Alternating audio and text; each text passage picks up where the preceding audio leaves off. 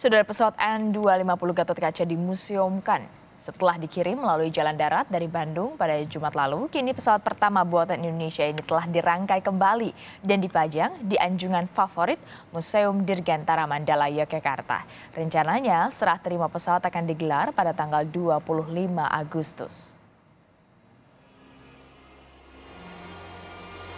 Setelah puluhan tahun tersimpan di hanggar PT Dirgantara Indonesia, Bandung, Jawa Barat, pesawat N250 Gatot Kaca dihibahkan kepada TNI Angkatan Udara.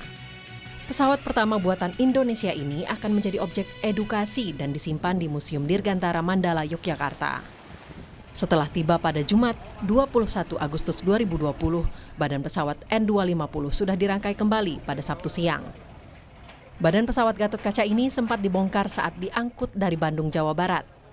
Kini pesawat buatan BJ Habibie itu telah terpajang di halaman depan Museum Dirgantara Mandala, Yogyakarta. Ya, puji syukur Alhamdulillah eh, koleksi kita yang ke-60 berupa pesawat N250 Gatot Kaca uh, sudah selesai ditempatkan di uh, posisi yang sebagus-bagusnya. Ini mudah-mudahan ini sebagai daya tarik uh, masyarakat, sebagai wahana rekreasi dan edukasi bagi, bagi generasi muda. Ya.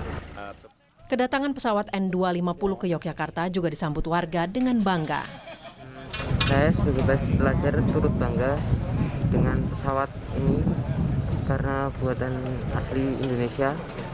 Kami sangat kami sebagai generasi penerus sangat mengapresiasi uh, hasil karya Presiden BJ Habibie ya, sehingga kita sempat diakui oleh bangsa di dunia bahwa kita mampu menciptakan pesawat terbang.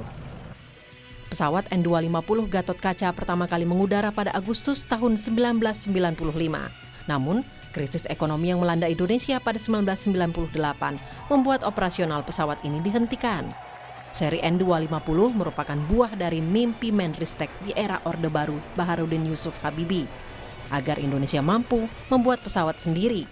Tujuannya tak lain agar Indonesia yang secara geografis berupa kepulauan dapat terkoneksi lewat udara. Michael Aryawan, Kompas TV, Yogyakarta.